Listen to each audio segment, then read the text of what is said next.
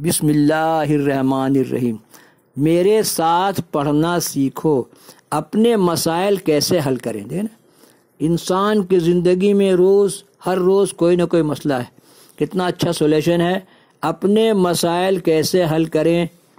इस्लाम सरासर दीन फितरत है। वो इंसान की न सिर्फ़ आखरत की फलाह के तरीक़े बताता है, बल्कि दुनियावी ज़िंदगी को सहूलत और आफियत से गुजारने के बेहतरीन तरीक़े भी सिखाता है। कैसा दुआ है? या अल्लाह आफियत दे, या अल्लाह। या अल्लाह आफियत की ज़िंदगी, आफियत की मौत दे, या अल्लाह। नबी रहमत सल्लल्लाहु अलैहि वसल्लम ने ज़िंदगी के मामलात के हवाले से एक इंतहाई अहम वसूल की तालीम दी है। वो वसूल ये है जो तवक्ल है तू वो वसूल ये है कि तू कल से पहले तदबीर है। तवक्ल से पहले तदबीर है। तदबीर से इंसान का तकदीर बदल जाता है। तदबीर से तकदीर। पहले तदबीर है। तदबीर कीजिए, थिंक कीजिए, अपने प्लान्स को कागज़ पर लिख के सोचिए। इंसान को जो मसला भी दरपेश हो, इसमें इंसान जो काम अपने अख्तियार में हैं, उनको पूरे आज़म व इरादे और मुस्तैदी से अंजाम दे। मसले के हल के लिए अपनी हैसियत और इस्तात के मुताबिक बेहतरीन वसायल अख्तियार करे, बेहतरीन मनसूबा बंदी करे और बेहतरीन अफरादी क़वत महबम पहुँचाए, इसके बाद मामला अल्लाह पर छोड़ दे। या अल्लाह मेरी मदद फरमा, या अल्लाह मुझे मेरी राह बता, या अल्लाह मुझे इल्म और अक्ल सुखा दे, सिखा दे, या अल्लाह। बीमार है तो अपनी हैसियत के मुताबिक बेहतरीन डॉक्टर से मशवरा करें। हाँ।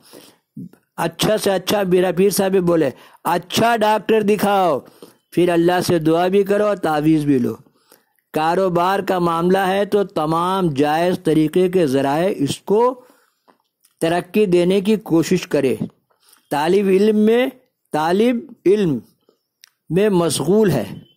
तालिब इल्म में मशगूल है तो इसके लिए अच्छी से अच्छी किताब और उस्ताद का इंतज़ाम करे। गौस पाक की वालदा ने अपना, गौस पाक को पढ़ने के लिए चालीस सोना का सर्फी दिया था, जो डाकू लोगों ने लूट लिया था। है ना?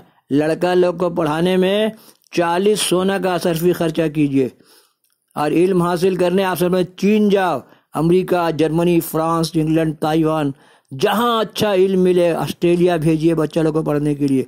बेइल्म आदमी अंधा है। आप सब गौस पाक की वालदा ने चालीस सर्फी दिया पढ़ने के लिए। हैं? और हुकूमत? पढ़ने के लिए जो पैसा देता है, उससे लेके पढ़ना चाहिए और बाद में कमा के अदा करना चाहिए। गर्ज ये है कि कोताही और कमज़ोरी का काम न करे। हाँ। उनको हालात ही न छोड़ेंगे। खुद को हालात पर जो छोड़ेगा और वक्त बर्बाद करने वालों को वक्त बर्बाद करके छोड़ टाइम इज़ प्रेशियस गर्ज ये कि कोताही और कमज़ोरी का काम न करे। इसके बाद अल्लाह से दुआ करे और फिर जो इस मालिक से मकदूर फरमाया है, इस पर सब्र शाकिर कर हो, शाकिर हो जाए। हैं? तो शाबान मुआज़म की रातों में तकदीर बदलती हैं शाबान मुआज़म के रातों के सदक़े में। इसीलिए ये बोल के बैठ जाए, यही लिखा हुआ था। एकदम नहीं चलेगा निगाह मर्द मोमिन से बदल जाती है तकदीरें। कुरान पढ़ने से भी तकदीर बदलता है दरूज शरीफ पढ़ने से भी तकदीर बदलता है। डोंट वेस्ट योर टाइम उनको हालात ही ना छोड़ेंगे, खुद को हालात पर जो छोड़ेगा और वक्त बर्बाद करने वालों को वक्त बर्बाद करके छोड़ेगा।